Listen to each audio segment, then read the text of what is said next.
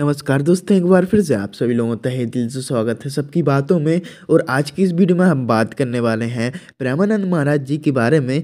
जानेंगे इस वीडियो में उन्हीं की लाइफस्टाइल के बारे में। तो चलिए बिना किसी देरी के आज का ये वीडियो स्टार्ट करते हैं। दोस्तों, आखिर कौन है प्रेमानंद जी महाराज? दोनों किडनी फेल हैं और ब्राट और अनुष्का शर्मा इनसे मिलने आए और इनको अपना गुरु मानते हैं। दोस्तों, बीते कुछ दिन पहले भारतीय क्रिकेट टीम के पूर्व कप्तान विराट कोहली और उनकी पत्नी अनुष्का शर्मा अपनी बेटी भूमिका के साथ वृंदावन पहुँचे।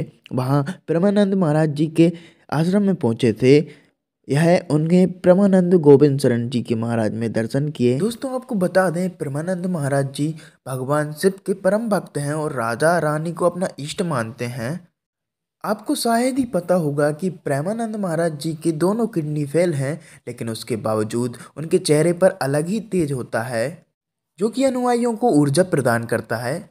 दोस्तों, बाबा ने एक कथा के दौरान कहा था, जो मच्छर को ब्रह्मा और ब्रह्मा को मच्छर बना दे, हम उस पावर से चलते हैं।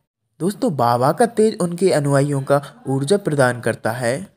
दोस्तों, बाबा फ़िलहाल में वृंदावन में रहते हैं, लेकिन यह मूल रूप से कानपुर के रहने वाले हैं और इनके पिता का नाम सुब्बू पांडे और इनकी माँ का नाम रमा देवी है। दोस्तों, महाराज जी प्रवृत्ति से ही धार्मिक प्रति के थे और यह कम उम्र में अपना घर छोड़कर बनारस में श्री गोरकी शरण जी महाराज के शरण में आ गए थे। दोस्तों, यही था बाबा जी का लाइफ स्टाइल वीडियो आपको ये वीडियो कैसा लगा, हमें कमेंट सेक्शन में ज़रूर बताना। मिलते हैं नेक्स्ट वीडियो में, जब तक के लिए